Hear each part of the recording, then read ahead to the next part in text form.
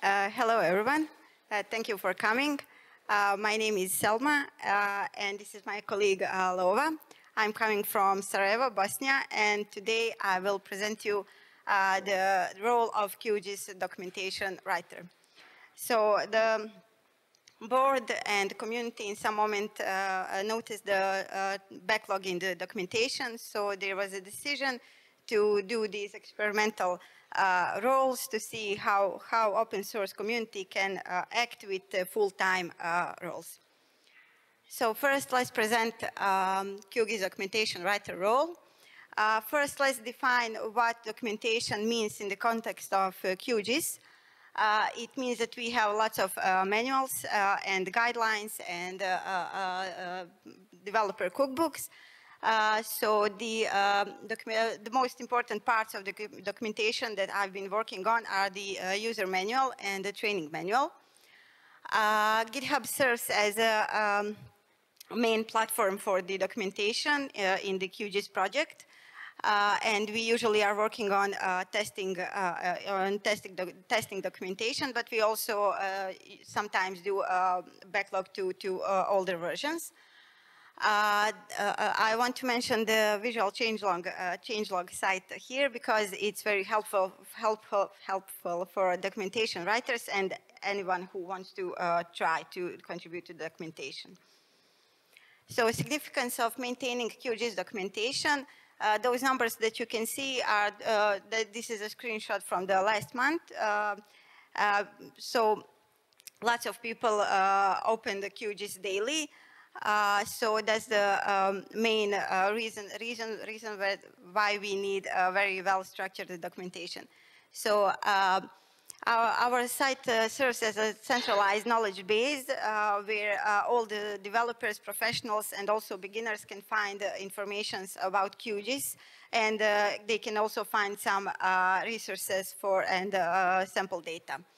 Of course, it facilitates learning and adoptions, uh, we try to promote uh, learning uh, through the QGIS documentation and also uh, adapt that documentation to, to everyone. Uh, it uh, also provide consistency and quality control because we, when write documentation, we need to keep consistent, um, keep consistency through the, all the manuals and all the sections and chapters into documentation. And also when the writer writes documentation, he needs to test uh, new features, new algorithms and options, so that also serves as a quality control. And uh, if we have very well and organized uh, documentation, we, can, we could uh, uh, encourage uh, community to contribute more to the whole project. this role also comes with some goals. Um, first of them is to reduce number of open issues. First of all, the older issues. Uh, then we uh, want to uh, improve communications between uh, writers and developers because that's uh, also very important for, uh, for writers.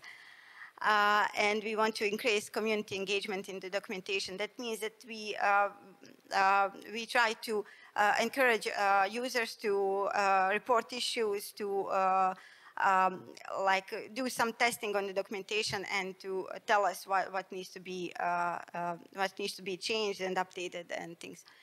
Uh, and of course, uh, we try to document uh, features for the next release. As you all know, the QGIS have uh, four releases in one year, so keep keep up to date with all of that is one of the primary goals. Uh, so now let me introduce you my uh, daily workflow and my tasks because this is an experimental role and I believe uh, you want to know what, what that looks like. So first I do uh, issue triage where I um, try to uh, triage the, and choose priority for every issue. then I create my time planning and time management to do my stand-up and those project management things. Uh, after that, uh, I went to uh, pull request reviews. That means that I can write some reviews on some other open pull request or someone will review my pull request. Uh, here I want to uh, want to mention uh, Harrissou. You may know him as a DelazJ on the GitHub. He's like the main guy for the documentation, and most of the reviews on my pull requests are done by him. Uh, so he's like very helpful for everyone who starts with the documentation. Uh, after that, I'm trying to find accurate spatial data for testing. Uh, sometimes that can be a little bit hard because uh, I usually uh, do with familiar formats and familiar stuff, but sometimes I need to find data formats that I really don't know anything about, and that can be a little bit time consuming. After that, I'm uh, uh, testing new features, uh, new features and check their functionality through the different QGIS version. I always have like four versions on my uh, on my PC. Uh, there is a nightly version, the newest version, and uh, LTR version, and some some one or two versions in between. Uh, after that, I create changes, uh, uh, create pull request, wait for review, add suggestions, and after everything is fixed and the pull request is merged, we can consider it as, as done. Uh, technologies that we use for documentation, as I already said, GitHub is the main platform for our work. We use also, of course, uh, Git as version control. Uh, a documentation is built by Sphinx, uh, uh, so that means that every document is written in the reStructuredText, and then we use Sphinx and read the docs to publish those, those changes. And of course, QGIS for testing everything. Uh, so here I want to showcase you uh, uh, something that I've been working on. so this is a completely new chapter in the documentation. Uh, that was a little bit challenging for me, uh, but I had luck to meet uh, one of the developers in person, and he explains me a lot and showed me some examples. So uh, we managed to create a new, new chapter. Anyway, I want to say that if you uh, create a whole new chapter in documentation, there is a lot of things that you need to pay attention, pay attention on. For example, for this chapter, we changed like 17 files. So we have lots of substitutions and lots of uh, uh, rules that you can find on the documentation guidelines uh, to see how, how the uh, completely uh, new chapter uh, can be created. There was a lot of comments and suggestions. ticket discussions was, was very, very big, but at the end we managed to create a whole new chapter. Uh, and of course, there are some challenges in this role um, that we are, you can notice that challenges and goals are something similar, uh, but uh, uh keeping up, up, with rapid development definitely is the biggest challenge because uh, you usually have a bigger number of developers than uh, documentation writers. So keep, keep that in line can be very challenging and it is, it is ongoing process. Uh, of course, we need to balance technical accuracy with accessibility. That means we need to provide a, a source of truth. We need to uh, be completely uh, technical accurate, but that also means that we need to be accessible for everyone, even the beginners. Uh, someone who just entered to, to GIS world and, uh, and for people who are, people who are already professionals and developers and things. Um, of course, we need to uh, uh, keep the consistency across different sections. Uh, as I already mentioned, we have a lot of uh, manuals and a lot of sections and chapters inside those manuals. We need to keep the same tone, same style, and same vi visual identity of all sections.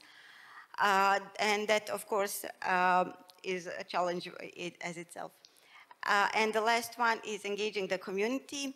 Um, I believe personally if we, if we have a very well organized uh, documentation and a system we, uh, for uh, writing documentation, we can encourage uh, lots of users and uh, people in community to um, to uh, help us with that documentation, to write reviews or to or to open an issue or any any kind of any kind of engage, engagement by the community is welcomed for us.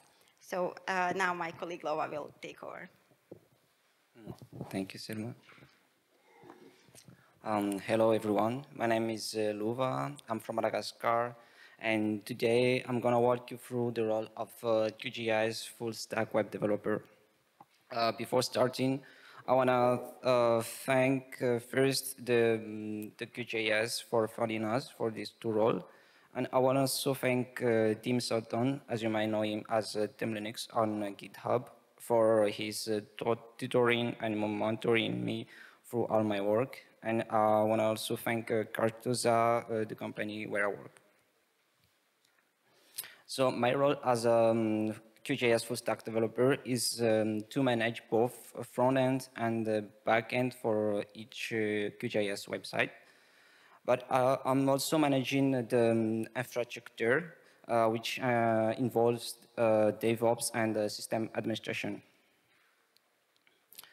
Um, now, let's look at the objectives of maintaining the QGIS web presence. Um, the QGIS websites are the faces of the project. So they are not only places to showcase resources, but key hubs for uh, visibility and uh, accessibility. Um, they also help uh, build credibility with um, a responsive and a well-maintained website. Uh, users feel confident about the, the project professionalism.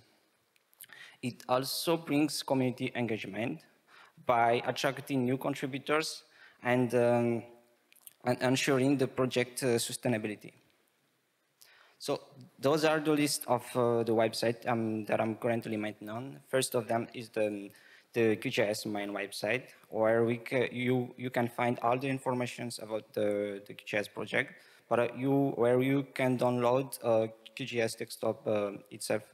So I wanted to mention that uh, the work that I've done on the QGIS mm, or new branded website was mainly done by Contour and other contributor. But my role in this website is to maintain and uh, fix issues. Uh, I'm also maintaining the plugins website. Uh, when you open QGIS and um, go to the uh, plugins manager to download uh, new plugins, um, those plugins come from the, this website. So there is also the feed website. When you open QGIS and on the homepage, you can see the news. Um, the, the, those news come from uh, the feed website. Um, QGIS come, uh, comes also with uh, metrics where you can find at um, analytics.qgis.org and um, it uh, shows all the statistics and metrics about the QGIS usage. Um, there is also a matrix for the plugins where you can see um, all the statistics about the plugin, each uh, plugin download. And from time to time, it happens to me that I work on the changelog website. Uh, the changelog website is the visual changelog for, uh, for, um, for the software releases. And finally, um, Matomo is um, currently uh, also a work from Contour, but uh, it should be coming soon because uh, it is currently under progress. But uh, Matomo, where we can see all the analytics of, uh, of each website mentioned earlier. So uh, let's see my year plan and the goal uh, for this role. Um, my first uh, goal is to ensure that uh, each online uh, resource, each server, has a proper backup uh, strategy. And uh, the second goal is to standardize the deployment process for each website. And it comes along with a clear documentation. Um, the third goal is to uh, implement an automatic monitoring tool for, um, for each uh, server and each website. So system reliability and monitoring. Um, the fourth goal is to work on, the, on all the open issues on each repository and try to reduce them as uh, many as possible. The, uh, the, fourth, uh, the fifth uh, goal is to standardize the branding across uh, all websites. Um, now, to achieve this, this goal, um, let's look at my daily workflow and tasks. Um, the, those first two points, I'm not going to talk about them as uh, they are the same as Selma's. But the third task that I do daily is to monitor each, uh, each server and website if uh, they are working perfectly and uh, as uh, expected. So it comes along with uh, backup. So I fetch the backup from each server to my local machine. So if uh, a code is ready for uh, deployment, I do I deploy them. And only after those uh, tasks that I do the actual uh, development, where I fix bugs or develop new features. And to close the day, I write some documentation about the code that I made or about the system administration or also about troubleshooting. Now, let's look at the work that um, we've done or, the, or that are currently in progress. The, the first important one is uh, to, I think it's to, uh, migrating from the old infrastructure to the new one. So it involved uh, setting up new server, migrating all the websites to the new infrastructure, setting up more firewalls for more security, and also uh, setting up uh, a proper backup so this, uh, this how the monitoring tool looks like, uh, you, where you can see uh, all the state of each services and uh, each server, and uh, you can see also the history of uh, of the state of of, of them. And yeah, as I said earlier, the the deployment process and my system administration come with documentation. So uh, this, uh, how the documentation uh, website looks like. Uh, you can see all the information, all the instruction about uh, setting up, uh, from setting up the new server to deployment and to troubleshooting. The goal of the documentation is to reduce the downtime as much as, as less as possible. So um, this is the example of of uh, one of the goals that is to uh, to align, align the brand uh, through all the website. So for the feed, uh, it's, uh, it looked like this before. There are no proper uh, user interface. And now we have branded the feed to align it with the, the new website. Now let's look at the tools that I use for this role. For the front end, um, the QGIS uh, main website is mainly based on Hugo and uh, Bulma CSS. And the other related websites are mainly based on Django template. So obviously I use HTML, JavaScript, CSS, but also Bootstrap. For the backend, uh, Django and Django REST framework were the APIs. Um, Docker plays a crucial role in um, both, uh, both development environment, but also in, uh, in the deployment environment. So all our codes are hosted on GitHub, and uh, yes, we are using Git versioning. Um, and all our servers are uh, hosted on Hetzner Cloud, and you, uh, we are using Nagios for the monitoring tool. For rsync, I'm using it to fetch um, the backup from uh, each server to my local machine. Uh, yes, being a full stack web developer is not without challenges. So um, I've highlighted uh, some of them.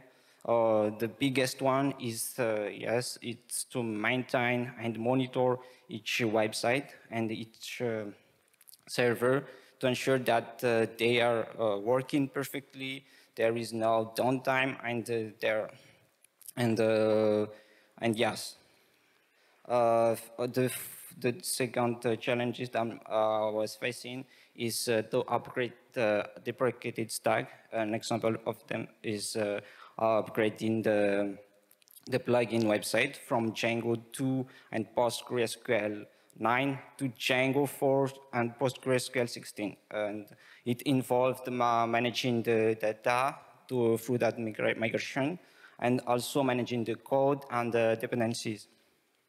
And yeah, the third one is related to this. So migrating uh, each of the website to an infrastructure, and it is currently under under progress.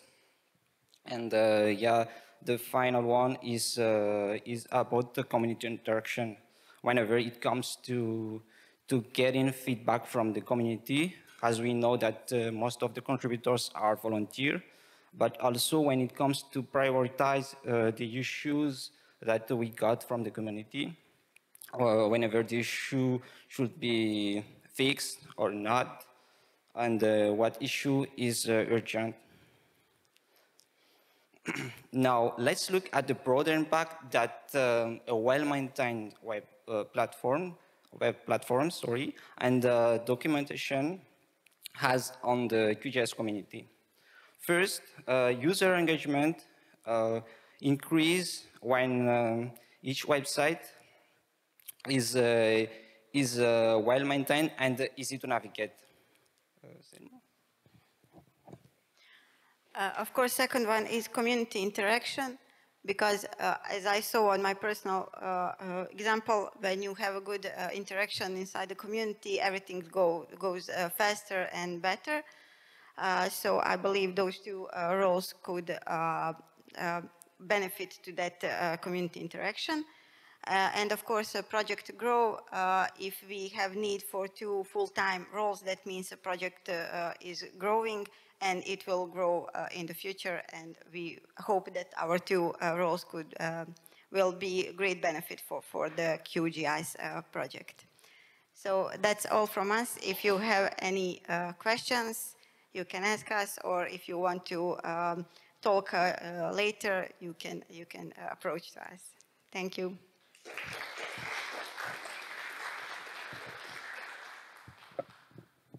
Are there any questions?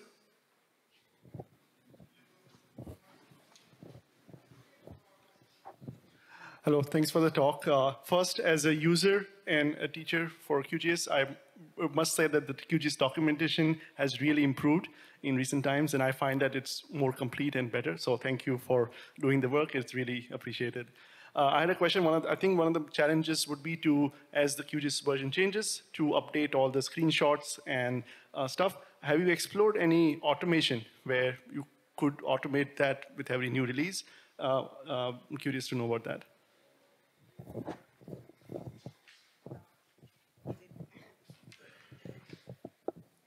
Okay, so uh, automa automation in screenshots, yeah.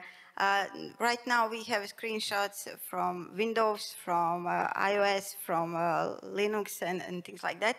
And uh, I'm aware that in some sections uh, we have different operating systems for, for the screenshots.